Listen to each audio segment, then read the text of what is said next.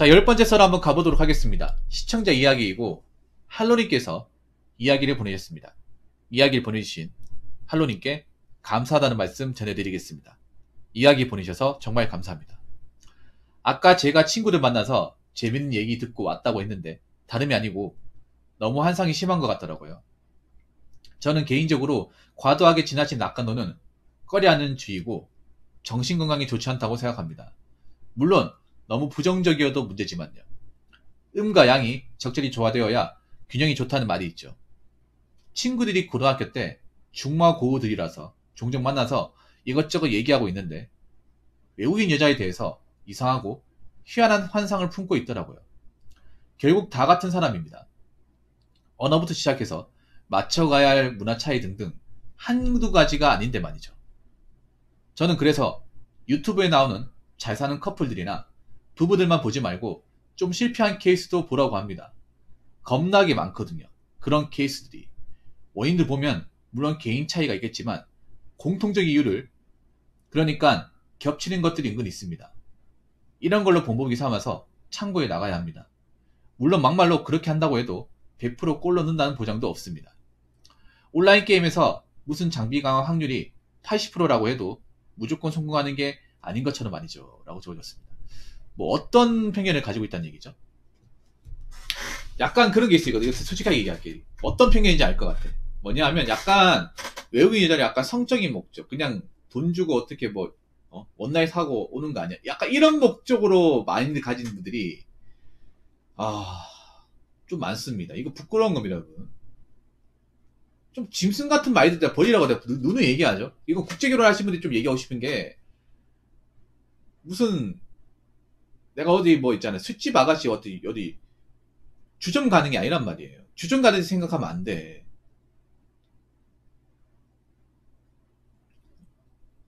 우리가 돈 많으니까 우리가 갑이니까 우리 돈 주면 원하는 거 해줘. 약간 이런 마인드죠 이게.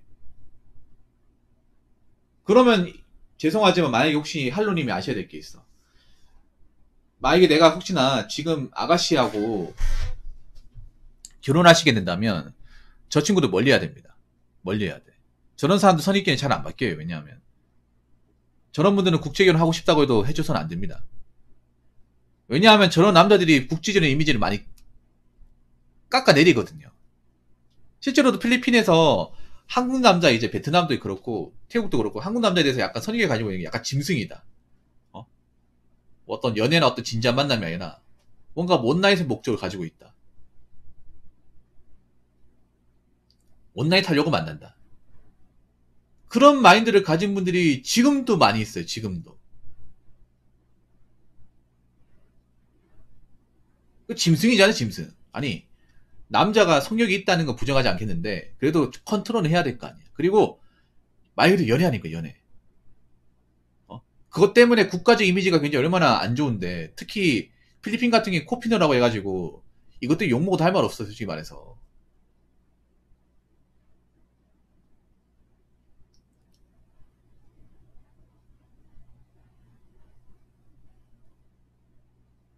그리고 국결, 국결은 유튜브만 가지 판단하면 안 됩니다. 여러 가지 다 봐야 돼요. 저는 국결 하신 분들 좀 제보를 좀 많이 했으면 좋겠다고 생각하는 게 뭐냐면 유튜브에 나오는 것들은 그분들 돈 벌려고 하네, 돈 벌려고.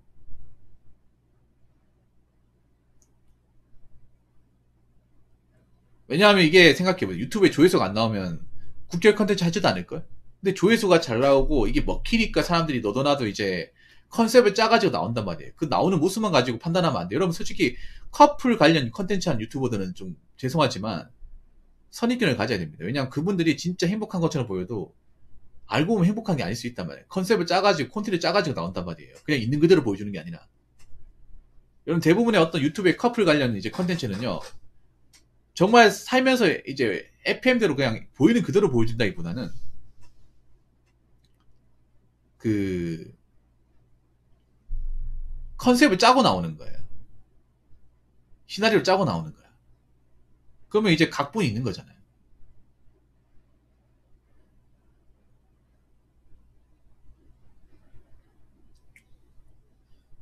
각본이 있는 거기 때문에 다르거든요.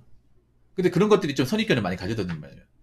뭐 외국 여자는 다 착하다. 아니면 뭐, 뭐, 밤에 적극적이다. 뭐 이런 것도 있잖아요.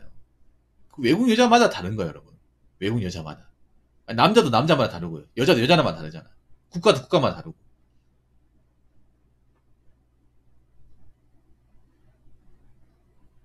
그래서 저는 국제 결혼하시는 분들이 이렇게 뭔가 순간에 막 이제 뭔가 유튜브 영상 같은 걸 혹해가지고 어, 만만하게 보지 않았으면 좋겠습니다. 신중하게 가야 돼요. 그러니까 뭐 한 사람 만나고 이 사람은 어떻게 그, 뭐 끝을 보겠다 이게 아니라 이 사람도 만나보고 저 사람도 만나보고 아직 기회 많잖아. 그런 식으로 좀 우리가 일반적으로 진지한 연애를 한다고 생각하듯이 갔으면 좋겠어요. 약간 한국 남자들은 좀 뭔가 급해 보여요. 급해 보여. 어떻게든 뭐, 어, one night 해야겠다. 이것도 문제가 뭔지 아세요? 할로윈 문제가 뭔지 알아? 이거 솔직히 말할게요. 남자를 공감하시고 야동 때문에 야동. 어? 야동의 영향이 커. 어? 아니, 야동 나온 사람이 그, 그, 그날의 국가의 모든 여자를 다 대변, 대변하는 거예요? 대변하는 거야? 거기에 활동하는 사람도 있고, 아, 모르는 사람도 있잖아요. 발 안 담근 사람도 있는 거고. 뭐, 일본 여자라고 해서 다, 뭐, 그, AV 산업이 다 진출합니까? 그런 거 모르는 사람도 많아. 일본이 굉장히, 어떠냐 하면, 일본 여자들이 굉장히 보수적이에요. 아예 그런데, 아예, 뭔지도 모르는 사람도 많아. 그런 쪽이 발달했다는 거지, 모든 여자들이 거기에 발, 다 갖다 댄 게 아니란 말이에요, 이게.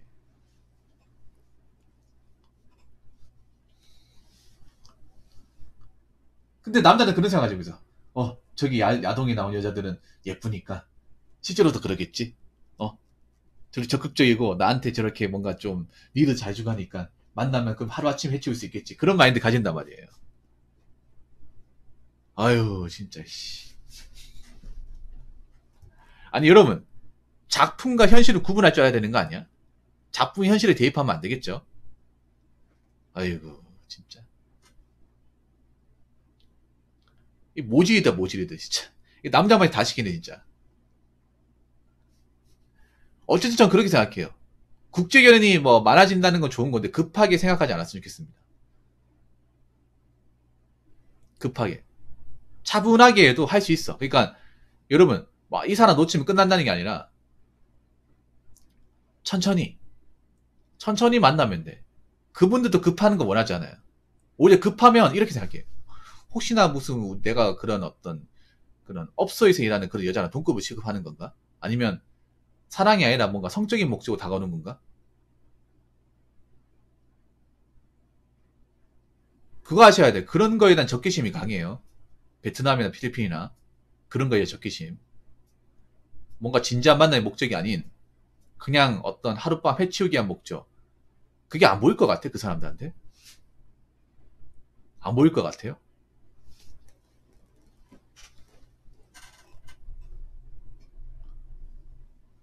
아니, 사람 대 사람이 사귀는 거고, 평생 봐야 되는 거고, 서로 부딪혀야 되는 게 많은 거잖아. 그래서 저는 그렇게 생각해요. 뭐, 좋은 사례도 있지만 나쁜 사례도 봐야 돼요. 국제결혼 해가지고. 나쁜 사례.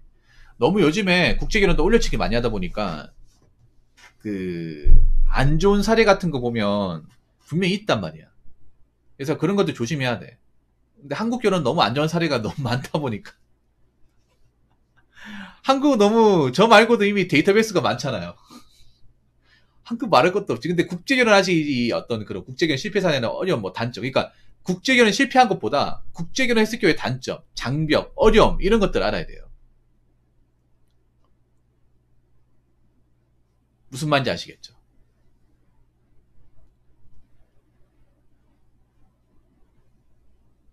대한 어떤 그런 이제 어려움 그리고 어, 힘든 부분. 그러니까 와이프가 이제 한국 생활하면 힘든 것들 그리고 어려운 것들 이런 것들을 알아야 내가 혹시나 국제 결혼하면 저런 것도 채워줘야겠다. 보완해야겠다. 이런 마음 갖는 거죠.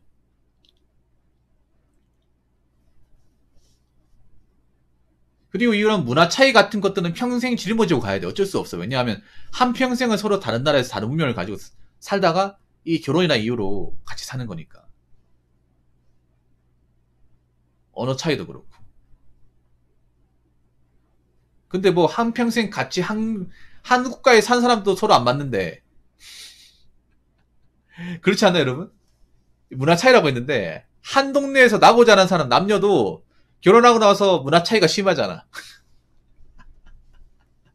알고 다 알고 모를 거 없는 그런 한국 남녀 사이에서도 참 웃기다 이거 대한민국이. 어? 다 다 아는데 결혼해가지고 왜 싸우는 거야? 왜 싸우고 왜 헤어지는 거야?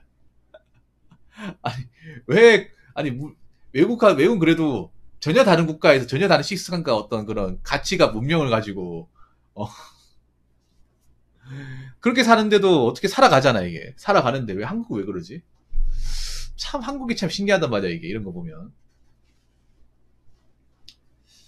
그래서 저는 그렇게 생각합니다. 국제를 관심을 가지고 일단 그 여자를 무시하면 안 돼. 못 사는 나라에 왔다 무시하면 안 됩니다. 똑같은 사람을 존중해야 돼. 존중해줘야 돼요. 어? 그러니까 한국 여자 만나듯이 똑같이 해줘야 돼요. 똑같이. 근데 약간 내리깔리지. 쟤네들 뭐 못 살잖아. 쟤네들 뭐 밥도 못 먹는다며. 이렇게 하지 말라고. 그 쟤네들 뭐 한국 남자가 잘해주면 뭐 넘어올 거 아니야. 하룻밤을 해치우면 돼. 이런 마음 가지 말라고요.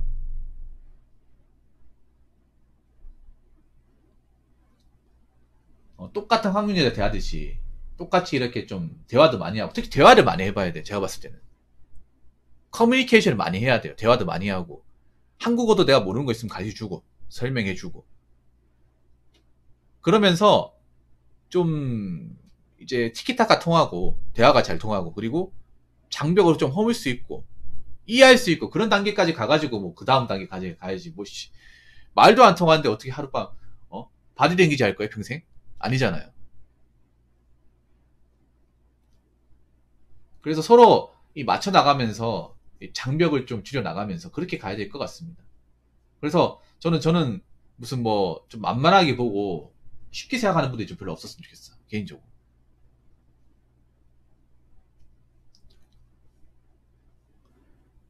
그리고 여담이지만 외국 여자도 우리나라식으로 메이크업하면 한국 여자도 못지않게 예쁩니다. 그만 역설적으로 얘기하자면 한국 여자들이 메이크업 안 하면 외국 여자보다 못생긴 사람도 많다는 얘기가 되네요. 돌려서 얘기하자면. 네, 그렇게 되는 거 아닙니까? 할로니? 왜냐하면 그분이 예쁠 수밖에 없는데 그분은 화장을 진하게 안 해도 이목구비 뚜렷하잖아. 여자들의 화장법이라는 게 뭐냐 하면 약간 성형수도 비슷하거든요. 요즘에 여자들 화장식이. 눈을 이제 작은 거를 최대한 이제 아이라인 그려서 크게 키우고 코도 있잖아요. 일부러 윤곽선 해가지고 오똑하게 만들고 입술도 몇 개 이제 립 발라서 더 자연스럽게 크게 만들고 그런 식이잖아.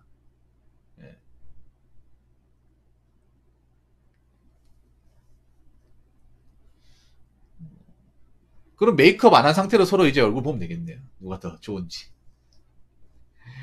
자, 아무튼 잘 들었습니다. 아무튼 뭐저 친구들은 제가 봤을 때는 좀 보완해야 될 게 많네요. 네, 보완해야 될 게. 만약에 못 바꾸면 소개시키지 마세요. 국제결 하지 말라고 얘기하십시오, 그냥. 아무튼 좋은 소리 주신 할로님. 정말 감사합니다. 자, 이상으로 열 번째 썰 마치도록 하겠습니다.